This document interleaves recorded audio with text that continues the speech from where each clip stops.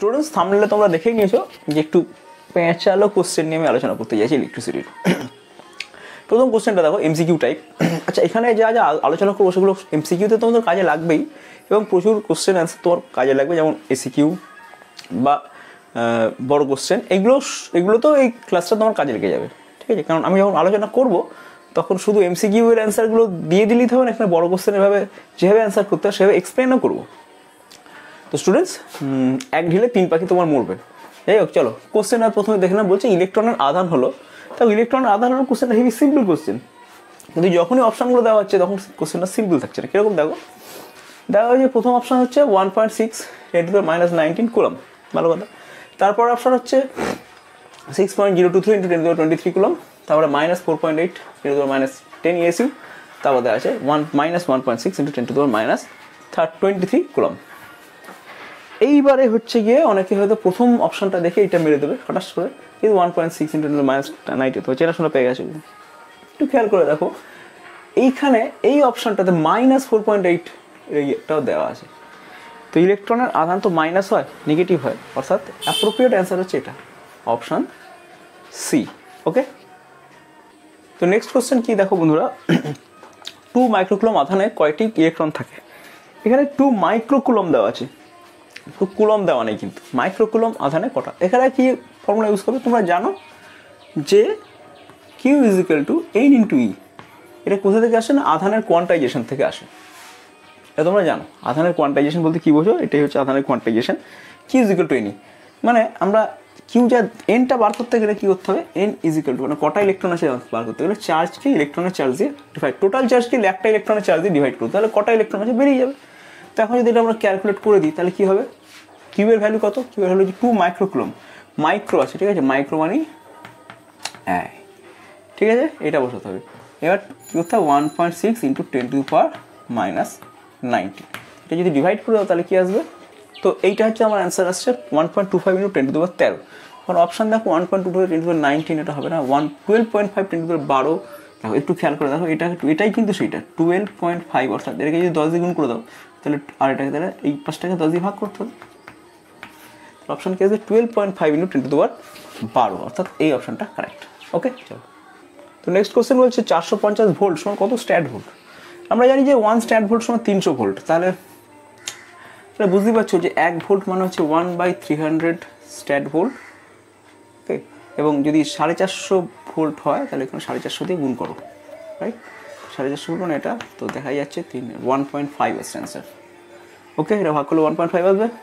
Right এখানে question দিয়েছে যে কোনো আধানের জন্য অসীমের তড়িৎ বিভব কত? দেখো, অসীমের তড়িৎ বিভব, অসীম অর্থাৎ ইলেকট্রিক ফিল্ডের বাইরে কেউ আছে। ইলেকট্রিক ফিল্ডের বাইরে যদি কেউ থাকে, সে তো কোনো ফোর্সে অনুভব করছে না। ফোর্স অনুভব না করলে শক্তি পাবে থেকে অর্থাৎ শক্তি শূন্য থাকে। তোমার অ্যান্সার কী আসবে? শূন্য। ওকে কোশ্চেনটা দেখো দিয়েছে, তড়িৎ বিভবের মাত্রা বলে অপশানগুলো দেওয়া আছে। এবার তড়িৎ বিভবের মাত্রা, এগুলো তোমরা একটু আগে থেকে জেনে যাবে। বুঝলে? আর যদি ভুলে যাও, তাহলে এইভাবে বার করে নেবে। তোমরা জানো V is equal to I R তাই তো?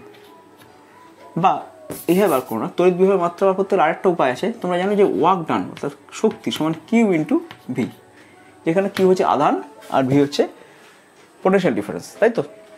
মানে ভি পোটেনশিয়াল ডিফারেন্সের মধ্য দিয়ে কিউ আধানকে যদি নিয়ে যেতে হয়, তাহলে ডাব্লু পরিমাণ ওয়ার্ক ডান করতে হয়। অর্থাৎ কিউ ইন্টু ভি হচ্ছে ওয়ার্ক ডান এখান থেকে তোমরা ভি এর মাত্রা পেয়ে যাবে। তো ভি এর মাত্রা সমান আসছে কি? ওয়ার্ক ডানের মাত্রা।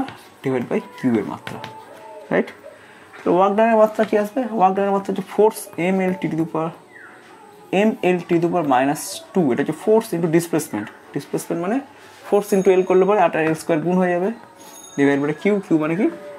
আই ইন্টু টি তাহলে কীরকম দাঁড়াচ্ছে? M L square T to power minus three I to power minus one তাহলে কোথায় আছে? Option T to power minus three I to minus one this is the option option C তো M L square to the minus three I to the minus one এটা মনে রাখতে পারো। যদি ভুলে যাও বাই চান্স তাহলে এই প্রসেসে এটাকে বের করেও নিতে পারো।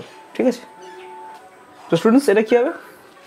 কোশ্চেনটা দিচ্ছে যে, দু কুলম আধানকে বর্তনী বরাবর এক পাক ঘুরিয়ে আনতে কাজ করতে হয় কুড়ি জল তাহলে বর্তনীর এম এফ কত? পুরো অপশান দেওয়া আছে অপশান আমি দিইনি। তুই বলো অপশান ছাড়াই এটা বলো। দেখি পারো কিনা। ভিডিও পজ করে বলো তো। দেখো, একক আধানকে ঘুরিয়ে আনতে যে কাজ করতে হয়, তাকে বলে ইলেকট্রোমোটিভ ফোর্স কিন্তু এখানে দুই কিলো আধানকে আনতে যেতে দুই কিলো আধানকে কাজ, আনতে ঘুরিয়ে আনতে কাজ করতে হচ্ছে টোয়েন্টি জুল। তাহলে এক কুলম আধান জানতে হবে। তাহলে কি আসছে? টেন জুল পার কুলম মানে টেন ভোল্ট অর্থ বোঝা গেছে? আমরা সকলে জানি একক চার্জকে, একক ধনাত্মক চার্জকে পুরো বর্তনী থেকে একবার ঘুরিয়ে আবার একই জায়গায় আনতে যে কাজ করতে হয় সেটা হচ্ছে ইলেকট্রোমোটিভ ফোর্স এখানে দুই কুলম আধানকে আনতে হয়েছে। দুই কুলম আধানকে আনতে কুড়ি জুল কাজ করতে হয়েছে। তাহলে এক কুলম্বের জন্য দশ জুল কাজ করতে হবে। তাই তো? তো এক কুলম্বের জন্য যেটা কাজ করতে সেটাই তো আমার ইলেকট্রোমোটিভ ফোর্স ওকে তাহলে তোমার অ্যান্সার আসবে টেন ভোল্ট না কোশ্চেন দেখো কোশ্চেনটা কেমন সুন্দর দিয়েছি, বলছে কোনো পরিবাহিতের মধ্য দিয়ে এক মিনিটে যদি ষাট কুলম আদান প্রবাহিত হয়, তাহলে তড়িৎ প্রবাহ কত? তড়িৎ প্রবাহ মানে হচ্ছে প্রতি সেকেন্ডে কত কুলম কারেন্ট ফ্লো হয়। ওকে তাহলে আমাকে এখানে দেওয়া আছে ষাট, এক মিনিটে ষাট কুলম আদান প্রবাহিত হয়। কীভাবে করব এটাকে?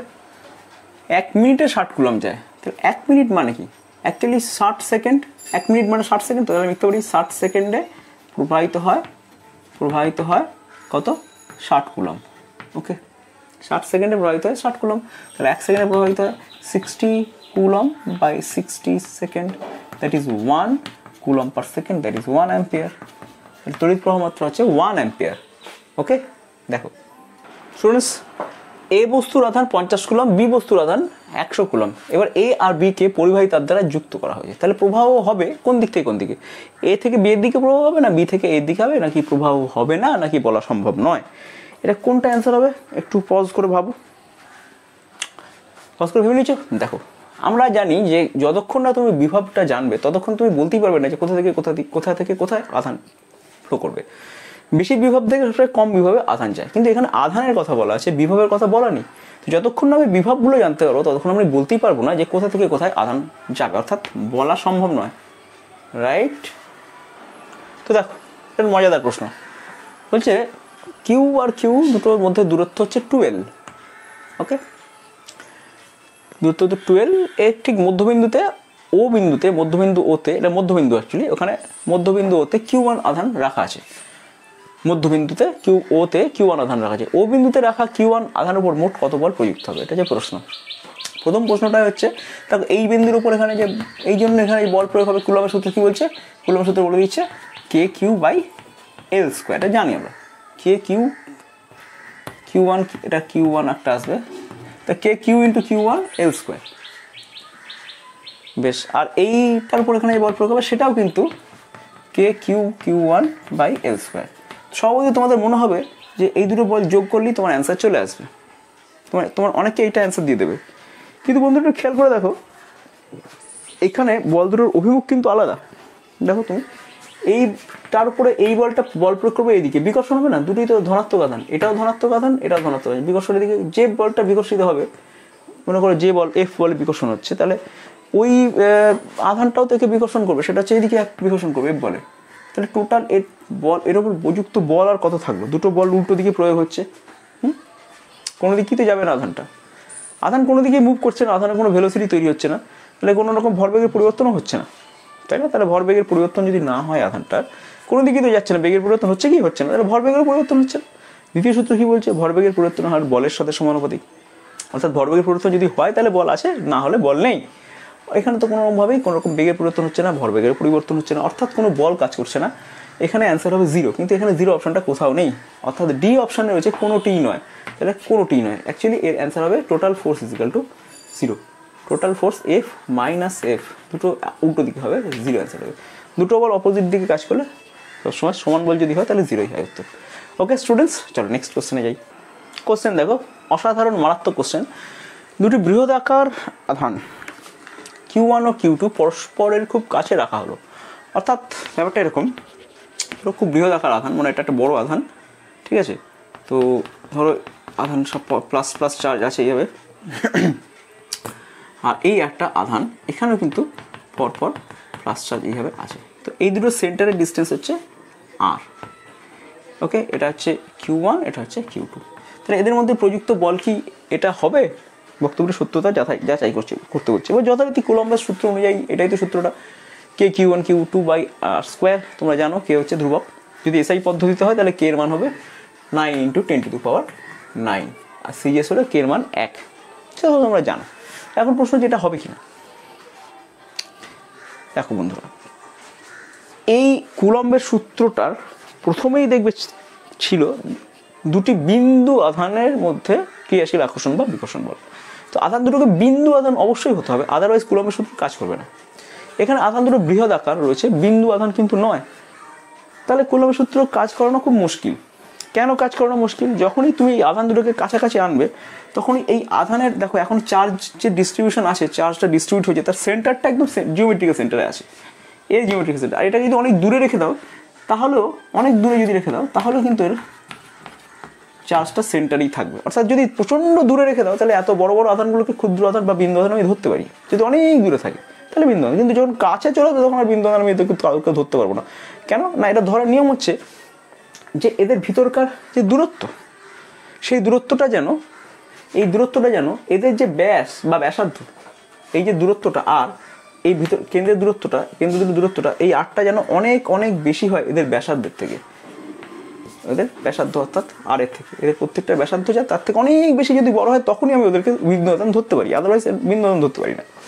তাহলে এক্ষেত্রে দেখো, দূরত্বটা খুবই কাছে আসে, অর্থাৎ এদের ব্যাস বা ব্যাসার্ধ যাই হোক না কেন সেটার সাথে এটা কিন্তু কম্পেয়ারেবল অনেকটাই কাছাকাছি, সেক্ষেত্রে এটা কাজ করবে না। আরও ভালো করে বোঝা যায়, যদি একে তুমি কাছাকাছি আনতে থাকো, যদি কাছাকাছি আনতে থাকো তাহলে এই পজিটিভ আর পজিটিভ কিন্তু রিপেল করবে। রিপেল করে করে ওরা একটু এই পাশে ছড়িয়ে যাবে। অর্থাৎ কীরকম দেখতে হবে জানো? কীরকম দেখতে হবে জানো? তো এই হচ্ছে চিত্রটা দাঁড়াবে, এই পজিটিভ চার্জগুলো একটু ওদিকে চলে যাবে, এই পজিটিভ চার্জগুলো ওদিকে চলে যাবে, বিকশিত হয়, অর্থাৎ এদের সেন্টারগুলো জিওমেট্রিক্যাল সেন্টারে থাকবে না সেন্টারগুলো একটু শিফট হয়ে যাবে, অর্থাৎ এদের পজিটিভ চার্জের সেন্টার একটু এই দিকটা করে শিফট হবে, এই দিকে একটু শিফট হবে, এদের পজিটিভ চার্জের সেন্টার সেন্টার অর্থাৎ আমি একটু বড় করে আঁকছি, এই দিকে শিফট শিফট হয়ে যাবে সেন্টারটা এর সেন্টারটা এদিকে শিফট অর্থাৎ সেন্টারের মধ্যে যে ডিস্টেন্সটা সেটা কিন্তু অবশ্যই আর থাকবে না আরের থেকে চেঞ্জ হয়ে যাবে মানে এটা যদি ডি হয় ডি অবশ্যই গ্রেটার দেন আগের যে ডিস্টেন্সের সেন্টারে তার থেকে বেশি হবে, অর্থাৎ এই ফর্মুলাটা কিন্তু কাজ করবে না ওকে তো এই কোশ্চেনের অ্যান্সারটা তোমরা কী করে গুছিয়ে লিখবে? আমি বলছি, তোমরা লিখে নাও, আমি আর লিখছি না এখানে। তোমরা লিখবে যে কুলম্বের সূত্রটিতে বলা আছে, বলে কুলম্ব সূত্রটিতে লিখবে? বিন্দু আধান তো লেখা থাকছে ওখানে। অর্থাৎ দেখা যাচ্ছে এই সূত্রটি বিন্দু আধানের জন্য আধানের জন্য কিন্তু কাজ করে। কিন্তু এখানে বৃহৎ আকার আধানের কথা বলা আছে। তাই এখানে দুটি বৃহৎ আকার আধানকে যদি যখনই কাছাকাছি আনা হবে, তখনই ওদের চার্জের সেন্টার শিফট হবে, সরে যাবে। ফলে ওদের মধ্যে, ওদের কেন্দ্রের মধ্যে যে দূরত্ব এখন আর রয়েছে, সেই দূরত্বটা এখন আর আর থাকবে না। অর্থাৎ এই সূত্রে আমি এখানে আর বসাতে পারব না। অর্থাৎ কুলম্বের সূত্র এখানে কাজ করবে না। ঠিক আছে? লিখে নিয়েছো তো? যদি লিখতে অসুবিধা হয়, ভিডিওটাকে একটু একটু স্লো করে দাও। হুম পয়েন্ট ফাইভ স্পিডে চালিয়ে দাও, তাহলে আমার কথাটা স্লো হয়ে যাবে। তখন তোমরা লিখে দাও পজ করে করে লিখে নাও। ওকে চলো। নেক্সট কোশ্চেন বন্ধুরা, বলা হয়েছে যে টু মাইক্রোকুলম বা সিক্স মাইক্রোকুলম এরা অনেক দূরে রয়েছে। এদের মধ্যে ডিস্টেন্স হচ্ছে টেন সেন্টিমিটার এদের মধ্যে বিকর্ষণ বল কত? এখানে ফাঁদ কোথায় পাতা পাতা আছে? বন্ধুরা, প্রথমে মাইক্রোকুলমে একটা ফাঁদ আছে। এখানে কিন্তু কনভার্ট করতে হবে মাইক্রোকুলম থেকে কুলম তারপরের ফাঁদটা কোথায় পাতা আছে? না ডিস্টেন্সে পাতা আছে। ডিস্টেন্সে টেন সেন্টিমিটার ডিস্টেন্স দেওয়া আছে। এখানে সেন্টিমিটার ডিস্টেন্স যদি দেওয়া থাকে, তাহলে তোমাকে ওটাকে কনভার্ট করে মিটারে নিয়ে যেতে হবে। অর্থাৎ তুমি লিখবে given Q one is equal to এটা কিউ ওয়ান ধরো, এটা কিউ টু ধরো। Q one is equal to লেখা আছে টু মাইক্রো মাইক্রো মানে কি? এইটা। Q two is equal to six micro মানে কি? এইটা। আর R is equal to ten centimetre আছে। টেন সেমি মানে হচ্ছে ten into ten to the power minus two metre তো এই ডেটাগুলো আমি এবার ইউজ করব। তো বিকর্ষণ বল এফ ইজিক্যাল টু কী হবে? দেখো আমি এসআই সিস্টেম অঙ্ক করছি, অর্থাৎ K Q one Q two by R square এই ফর্মুলাটাতে কে এর মান বসাবো nine into ten to the power nine ঠিক আছে? এসআই সিস্টেমে এটা কে এর মান এটাই হয়। কিউ ওয়ানের ভ্যালু কত? দুই into ten to the power minus six Q two value কত? ছয় into ten to the power minus six Q one Q two বসিয়ে দিলাম। আর স্কোয়ারের ভ্যালু কত? Ten into ten to minus two মানে হচ্ছে ten to the power minus one তাহলে ten to the power minus ওয়ানের স্কোয়ার তো এবার অ্যান্সারটা করে দিই, কত আসছে দেখো?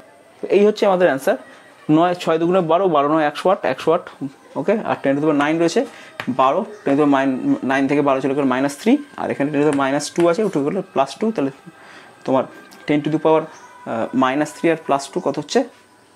মাইনাস ওয়ান তাহলে এই হচ্ছে আমাদের অ্যান্সার তাহলে অ্যান্সার হচ্ছে ten point eight newton okay next question বলছে, কোনো স্থানের বিভব টেন ভোল্ট ওই স্থানে টেন মাইক্রোকুলম আধানকে অসীম দূরত্ব থেকে নিয়ে আসতে কত কাজ করতে হবে? তো কিছুই না, মনে করো এই জায়গাটার বিভব হচ্ছে টেন ভোল্ট এই পয়েন্টের বিভব, এটা মনে পি পয়েন্ট এর বিভব হচ্ছে টেন ভোল্ট তাহলে অসীম দূরত্ব মানে ইনফিনিটি ডিস্টেন্স সেখান থেকে একটা আধানকে যদি এইখানে আনতে হয়, তাহলে কত কাজ করতে হবে? এটা হচ্ছে গিয়েছে। তো সকলেই জানো, তাই ওয়ার্ক ডান কৃতকার্য সমান হচ্ছে। Q into P charge into potential okay তো চার্জ কত আছে? কত চার্জকে আনতে হয়েছে? টেন মাইক্রোকুলম টেন মাইক্রোকুলম মানে ten to the minus six coulomb আর বিয়োগ কত আছে? Ten volt ten volt that is একশো ten to the minus four joule তাই তো? তো একশো আর ten to minus six ten to minus four joule তো তোমার অ্যান্সার হচ্ছে ten to the minus four joule চলো নেক্সট কোশ্চেন নেক্সট কোশ্চেন বন্ধুরা বলছে টু মাইক্রোকুলম আধানের থেকে টু মাইক্রোকুলম আধান। মনে করি এটা একটা টু মাইক্রোকুলম আধান। হচ্ছে Q is equal to two microcoulomb আধানের থেকে কুড়ি সেমি দূরে, অর্থাৎ এইখানে। কুড়ি সেমি দূরে হচ্ছে আট আটটা হচ্ছে টোয়েন্টি সেমি কুড়ি সেমি দূরে, অন্য একটি আধান ওয়ান মাইক্রোকুলমকে অন্য একটি আধান ওয়ান মাইক্রোকুলম মনে করেন একটা একটা আধান আছে কিউ ওয়ান এটা আছে কিনা ওয়ান মাইক্রোকুলম একে কোথায় আছে না, অসীম দূরত্ব আছে। একে এইখানে আনতে কত কাজ করতে হবে? তো স্টুডেন্ট এইখানে আনতে কত কাজ করতে হবে জানতে গেলে এইখানকার বিভবটা জানতে হবে। তাহলেই ওয়ার্ক ডান বেরিয়ে যাবে কিউ ইন্টু ভি বিভবটা জানতে হবে। তো বিভবটা আমি পাবো কত বিভব ফর্মুলা জানো বিভব is equal to K Q by R তোমরা আমার সেই র্যাপিড যে আমি আলোচনা করেছিলাম র্যাপিড র্যাপিড ক্লাস বলেছিলাম, মনে আছে? সেই র্যাপিড ক্লাসে আমি কিন্তু বলেছিলাম এটা। এবং তোমাদের বইয়েতেও এই ব্যাপারটা আলোচনা করা আছে। তাহলে কে কিউ বাই আর কে এর মান কত বন্ধুরা? Ten nine into ten to the power nine তোমরা জানো এসআই সিস্টেম এটা হয় কিউ কত? কিউ হচ্ছে two microcoulomb that is two into ten to the power minus six by R R twenty centimetre আছে টোয়েন্টি সেন্টিমিটার থাকলে হবে না। এই টোয়েন্টি মিটারে সেন্টিমিটারকে মিটারে কনভার্ট আমি করে দিলাম। ওকে তো এই হচ্ছে তোমাদের বিভব ওই প্রান্তের। তাহলে এখন কৃতকার্য কত তো বিভবটা আমরা ক্যালকুলেট করে দেখে নিই কত আসছে। তো স্টুডেন্টস ক্যালকুলেশন আসছে nine into twenty to four volt তাহলে ওয়ার্ক ডান কত হবে? কিউ কত? কিউ হচ্ছে ওয়ান মাইক্রোকুলম তাই তো? তাহলে ওয়ান মাইক্রোকুলম মানে ten to minus six into nine into ten to power four কত আসছে? Nine into ten to the power minus two joule okay তো এইভাবে এই অঙ্কটাও আমরা করে ফেলতে পারব। ওকে তো একটু টুইস্টেড কোশ্চেন আমি আলোচনা করলাম। দু একটা কোশ্চেন এরকম টুইস্টেড থাকে মাধ্যমিকে, সব থাকে না। যারা একশো একশো পেতে চাইছো, তারা ক্লাসটা খুব উপকার পাবে। হুম, তো টার্গেটটাকে সবসময় বড়ই রাখতে হয় ঠিক আছে? ষাট, পঁয়ষট্টি রেখো না, আশি, নব্বই, একশো এরকম টার্গেট রাখো। আর এই কোশ্চেন আমি যা আলোচনা করলাম, আশা করি কোনো অসুবিধা হওয়ার কথাই না, এগুলো তোমরা করে যাও, দারুণ রেজাল্ট হবে। ওকে তো স্টুডেন্টস আজকে আলোচনাটা আমি এত এখানেই আমি থামাচ্ছি। আমরা পোর্শন এ পোর্শন মানে ওই চলতরিতে যে এ পোর্শন মানে ফার্স্ট পোর্শন যেখানে কুলমস ল, বিভব হ্যাঁ এইসব নিয়ে আলোচনা আছে, সেইটুকু পোর্শনে আমি আলোচনা আজই করলাম। তো স্টুডেন্টস এর পরের ভিডিওতে তোমরা যে আলোচনাটা পাবে, সেটা হচ্ছে current Ohm's law equivalent resistance okay এইগুলো নিয়ে পাবে। তারপরের ভিডিওতে তুমি পাবে হিটিং এফেক্ট নিয়ে আলোচনা তারপর তারপরেরটা তোমরা ইলেকট্রোম্যাগনেটিজম নিয়ে আলোচনা পাবে। পরপর আমি আলোচনাগুলো করব, কারণ একটা ভিডিওতে এত বড় আলোচনা করলে ভিডিওর লেন্থ অনেক বেড়ে যাবে, তোমরা ধৈর্য রাখতে পারবে না। অনেক ব্যাপার আছে। ঠিক আছে, আর আমারও খুব কষ্ট হয়ে যাবে পরপর এতটা টানা ক্লাস রেকর্ড করা ওকে তো স্টুডেন্টস আজকে এতটাই থাক, তোমরা চ্যানেলটা সাবস্ক্রাইব করে রাখো, কারণ পরপর আমি টপিকের উপর পরপর পরপর সাব টপিকের ভিডিও করতে থাকব। আজকের টপিকটা আমি কমপ্লিট করলাম, যেখানে কুলমস ল পোটেন্সিয়াল ইত্যাদি আলোচনা করা আছে। নেক্সট টপিক আমরা আবার হোমস ল তরিচালক বল ভোল্ট এসব আলোচনা করব, ঠিক আছে? তো বুঝতেই পারছ আমি কী করতে চাইছি? তো স্টুডেন্টস চ্যানেলটা সাবস্ক্রাইব করো, নইলে পরে আবার আমার ভিডিওটা খুঁজে খুঁজে বার করতে হবে। খুব মুশকিল সাবস্ক্রাইব করা থাকলে তুমি সহজেই ভিডিওটা পেয়ে যাবে ওকে তো স্টুডেন্টস বাই বাই